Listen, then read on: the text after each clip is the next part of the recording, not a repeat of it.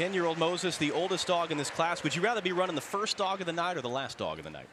Well, I'd rather be first. I want to lay down and run that somebody's going to go, I got to be extra special to win this.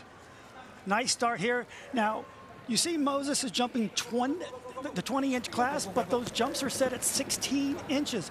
That is because he is in the preferred class. He still has to jump against the 20-inch dogs, but he's jumping 16 inches because he's 10 years old. Why should he jump 20? Coming down that dog walk, gets the contact. Watch out for that tunnel, tunnel. Stay, good job there. Nice turn, blind cross to that teeter. Little triple to that double into that tunnel. Stay clean, stay clean. There you go. Get him off that jump. Stay clean. We have our first clean run of the night. What a way to start. And a very happy boy as well. What a great way to start, everybody. Look at that face coming over that triple on the way to the double. That dog is enjoying this sport.